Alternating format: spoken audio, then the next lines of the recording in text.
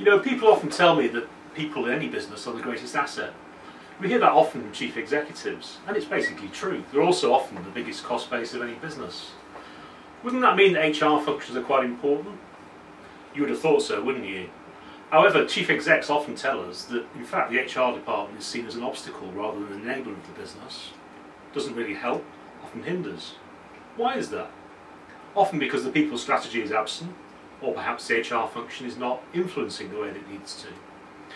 So in response to this, we developed a learning development program for HR directors. It enables people to actually develop the skills to have an effective people strategy and to have the influence they need at board level. Don't just take my word for it, come along to one of the taster sessions that we've got fixed up, and I hope to see you there.